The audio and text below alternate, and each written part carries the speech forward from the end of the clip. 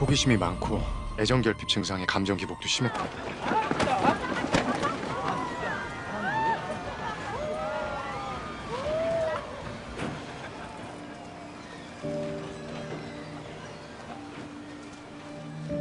아저씨는 날 좋아해주면 안 돼요?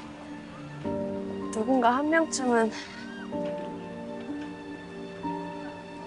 나도 날 좋아해줬으면 좋겠는데 전형적인 어린아이의 특성을 가지고 있지만 아니었어요.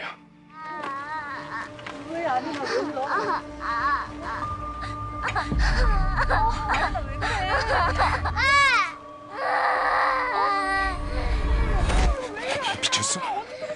애들은 딱 질색이야. 시끄럽고 손만 많이 가고 지멋대로고. 아이 얘기를 할 때 자신과 분리시키고 타자화시켰습니다. 어린아이가 아니었어요.